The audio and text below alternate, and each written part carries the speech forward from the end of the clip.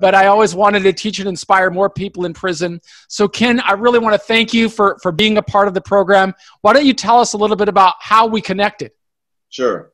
Uh, I first became familiar with you, Michael, uh, when I was sitting in a cell in Soledad uh, prison in Central Valley, California.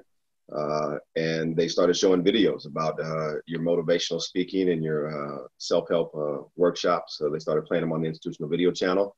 it was one of the few pieces of programming, video programming that you could get that was inspirational and then fed into my entrepreneurial mindset. Uh, so I used to watch it religiously uh, just to get any kind of pearls and tidbits. Uh, and, and I found that a lot of your journey and a lot of your guest journey uh, had traveled in the same trajectory as my journey. A lot of reading, a lot of uh, self determination, a lot of uh, self perseverance in, in, in, crazy circumstances, as you know.